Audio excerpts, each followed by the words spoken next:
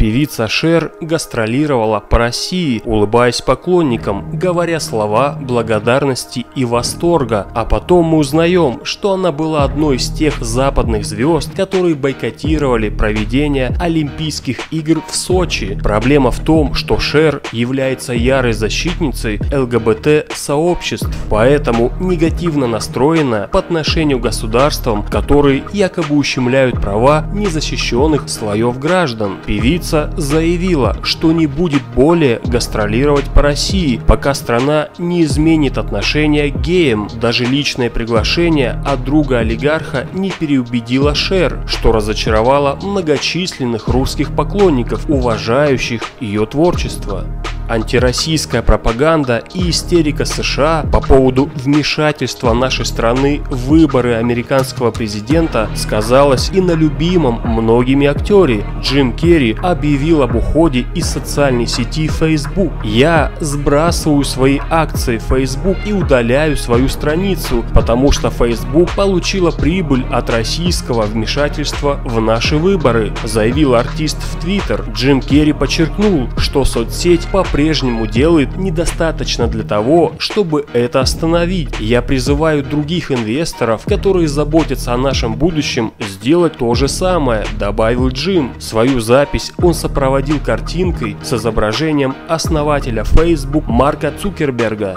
Иэн Маккеллен. Самым ярким образом актера, безусловно, является Гэндальф во «Властелине колец», но у его исполнителя к России также есть претензии. Маккеллена крайне озаботили права секс-меньшинств в России. Я знаю, что сейчас происходит в России, и это просто ужасно. Для меня, как открытого гея, подобные законы о запрете гей-пропаганды неприемлемы, говорит актер. Ну а всех противников ЛГБТ-сообщества России актер называет называет отвратительными и бесчеловечными.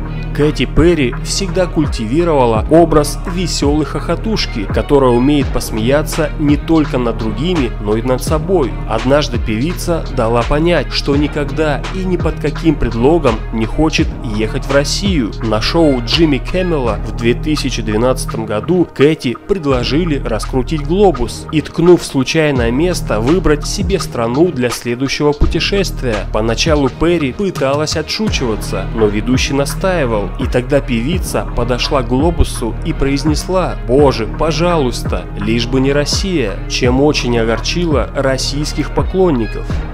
Дженнифер Лоуренс на съемке фильма «Красный воробей» актриса согласилась неохотно. «Мне не хотелось бы иметь хоть что-то общее с этой страной», заявила Лоуренс, имея в виду Россию. На одной из своих пресс-конференций Дженнифер все так же дала понять, как она относится к России. По указанию актрисы, русских журналистов выгнали с мероприятия. Инсайдеры подтвердили, что Дженнифер не захотела отвечать на вопросы репортеров из-за политических причин. Как предполагают в прессе, эти причины могут касаться дела Кирилла Серебренникова, а также международной политики России и отношения властей к ЛГБТ-сообществу. Кто подставил американского актера Моргана Фримена, предложив ему сняться в нелепом русофобском ролике? На этот вопрос пытаются ответить политики, творческая интеллигенция и пользователи социальных сетей. СМИ и соцсети пестрили комментариями по поводу видеоролика, в котором всемирно известный актер призывает Дональда Трампа раскрыть правду о вмешательстве России в американские выборы. Мало того, звезда заявляет, на нас напала Россия, мы ведем войну,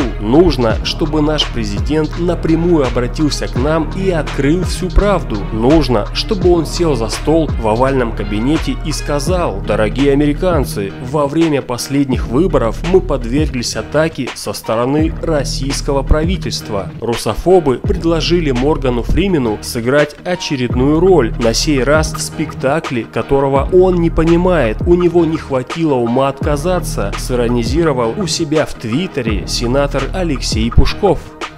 Чтобы не пропустить самые интересные новости, не забудь после подписки нажать на значок колокольчика.